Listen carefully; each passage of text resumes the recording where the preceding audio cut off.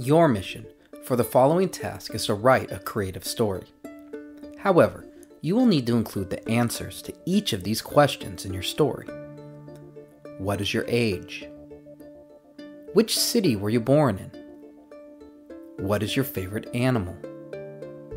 What is your favorite type of weather? What is something you tend to waste money on? Where is your favorite place to go shopping? What is your favorite time of day? What is the name of one of your friends?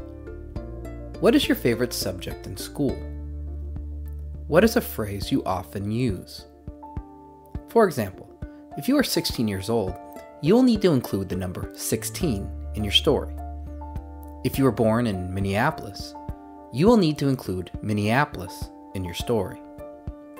If your favorite animal is a tiger, you will need to include a tiger in your story.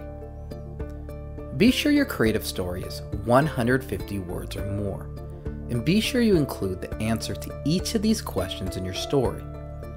When you're done, your teacher will either read the stories aloud or pass the stories to your classmates, and the class will guess who wrote each story. Good luck.